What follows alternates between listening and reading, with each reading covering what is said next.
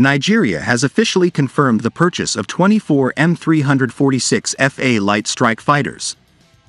Nigeria's interest in the M346 FA has been known for some time.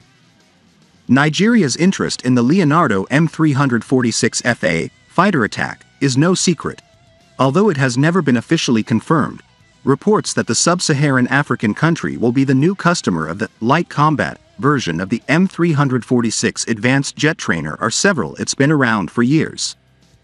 Finally, the official confirmation from the Nigerian presidency that the Nigerian Air Force, NAF, will receive 24 M346 FA aircraft to equip the two full squadrons. According to the aviationist, the multi-role version of the M346 was first unveiled at the Farnborough International Air Show in 2016.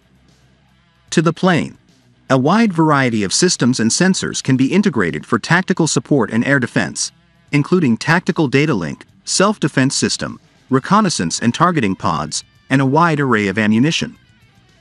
The aircraft is equipped with the multi-mode Grifo M346 radar developed by Leonardo and optimized for the M346 FA.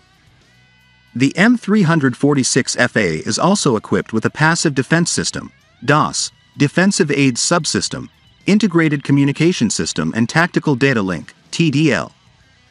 To M346FA, different types of weapons and external payloads can be integrated, including air-to-air and air-to-ground munitions, such as infrared, radar and or laser, GPS-guided munitions, weapon pods and helmet-mounted displays, HMD, and integrated reconnaissance and targeting pods.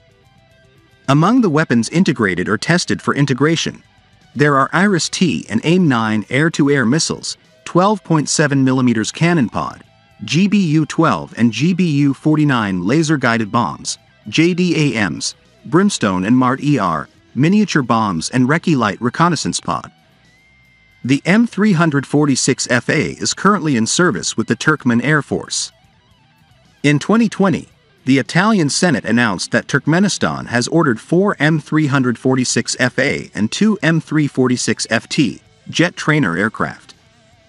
Video footage released by Turkmenistan state media in August 2021 showed two M346FA flying with four short-range air-to-air missiles alongside external fuel tanks, 01 and 02.